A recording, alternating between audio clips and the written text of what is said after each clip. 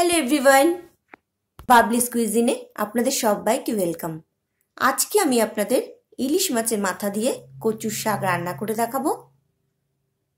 তো দেখুন, কচুর শাক টুকরো করে কেটে নিয়েছি। ভালো করে ধুয়ে পরিষ্কার করে বসিয়ে দিয়েছি একটা কড়াইয়ে। দিয়ে দেবো নুন। তো আমি এর মধ্যে ওয়ান স্পুন মতো নুন দিয়েছি। এবার আমি কচুর শাক সেদ্ধ করে নেব। এখন আমি গ্যাসের ফ্লেম মিডিয়াম টু হাই রেখেছি। তো দেখুন, কচুর শাক সেদ্ধ করে নিয়েছি। এবার আমি একটা চালনিতে ঢেলে নেব, জলটা ঝরিয়ে নেব। তো কড়াই বসিয়ে দিয়েছি, দিয়ে দেব সর্ষের তেল। তেল গরম হয়ে গেছে, দিয়ে দেব ফোড়ন। আমি ফোড়নে দেব দুটো শুকনো লঙ্কা ওয়ান স্পুন মেথি। আপনারা চাইলে তেজপাতাও দিতে পারেন ফোড়নে। মেথি দেওয়ার পর কিন্তু খুব বেশি ভাজবেন না, কারণ মেথি বেশি ভাজলে তেতো হয়ে যাবে। এখন আমি গ্যাসের ফ্লেম লো রেখেছি। যখন ফোড়ন থেকে সুগন্ধ বেরিয়ে আসবে, দিয়ে দেব ইলিশ মাছের মাথা ভেজে রেখেছি।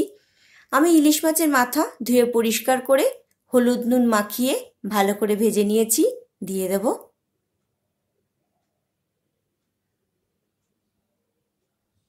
এবার আমি দিয়ে দেব সেদ্ধ করে রাখা কচুর শাক।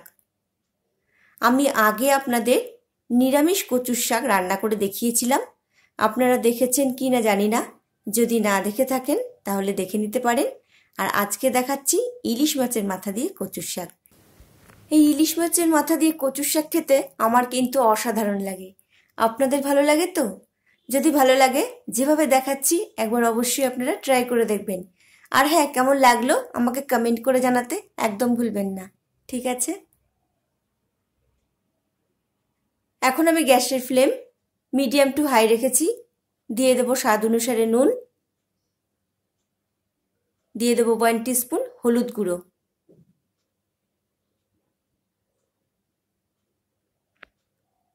আপনারা যদি রান্নার ঝাল খুব পছন্দ করেন, তাহলে কাঁচা লঙ্কা কুচিয়ে দিয়ে দেবেন।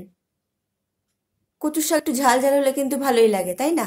কিন্তু আমার ঘরে যেহেতু ঝাল খুব বেশি পছন্দ করে না, তো আমি ঝাল খুব বেশি দেব না। আমি দেবো খুব সামান্য লঙ্কার গুঁড়ো, হাফ টিস্পুন মতো। আপনারা যদি ঝাল বেশি পছন্দ করেন, তাহলে লঙ্কার গুঁড়ো আর একটু বেশিও দিতে পারেন।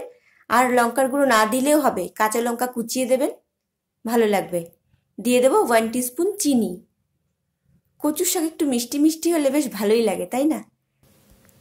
এবার আমি রান্নাটা করে নেব। এর মধ্যে যে জল ভাব দেখতে পাচ্ছেন, যতক্ষণ না জলটা পুরো শুকিয়ে আসছে, ততক্ষণ রান্নাটা করে নিতে হবে।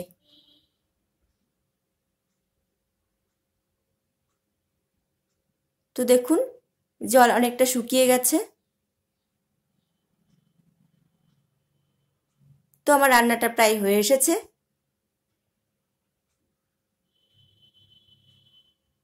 তো আমার রান্না কমপ্লিট। আপনাদের সার্ভ করে দেখাচ্ছি। তো কেমন লাগল আপনাদের আজকের এই রেসিপি রেসিপিটি ভালো লাগলে অবশ্যই একটা লাইক করবেন।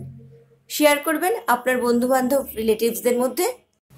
আর আপনি যদি আমার চ্যানেলে নতুন হয়ে থাকেন চ্যানেলটিকে সাবস্ক্রাইব করে পাশে থাকা বেল আইকনটি প্রেস করে দেবেন।